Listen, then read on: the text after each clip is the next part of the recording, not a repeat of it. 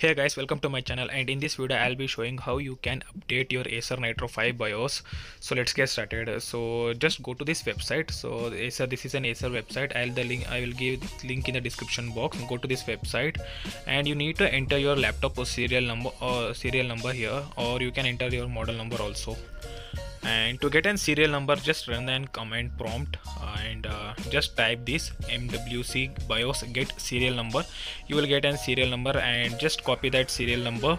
Or you can also get serial number in uh, backside of the laptop sticker. Even you can find over there so just copy that serial number and go and paste here in the Acer website. And after pasting click on the find option button. And here you will get a model number. And so here is the model. Just go to the BIOS slash firmware and download the first one. So now after downloading the BIOS update just extract the file wherever you want. So I'll be extracting. So I have already extracted and updated the BIOS. So just uh, showing in showing you guys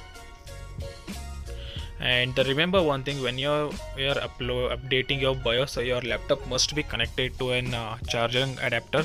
So it is necessary to connect your uh, uh, charger.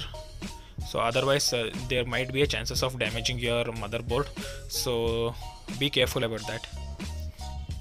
So just open that file and run as administrator. And yes. And the file will extract so i'm not cutting any scene. So from this onwards i'll be putting in every steps. So the video will be little bit longer. And even the caution message is also here. You need to connect your laptop into the charger. So the laptop must be connected to your charger whenever you are updating any BIOS means. And the laptop will restart and it will take some time. So currently it is restarting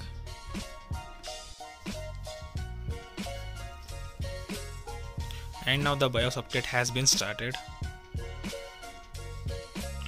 So for me it has taken around 1 minute and 1 minute 30 seconds it has taken